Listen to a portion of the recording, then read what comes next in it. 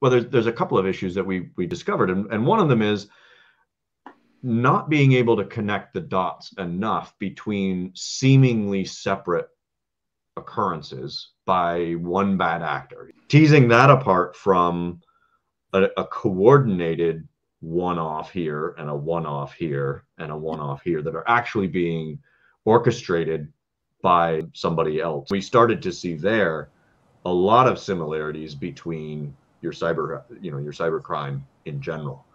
You know, the compromising credentials, stolen credentials, social engineering, massive. You know, you can social engineer somebody into letting you access their database, or you can social engineer somebody into taking your shipment to another warehouse. It's the same skill set, it's the same same technique. If we know that cargo crime is being facilitated by cybersecurity weaknesses and the same techniques, how do we then connect the dots for a carrier or a broker to say they're related? Do mm-hmm. something to to raise your bar on the cybersecurity side. It's also going to raise the bar and make it harder for the criminals to steal your freight because they're using the same tool set.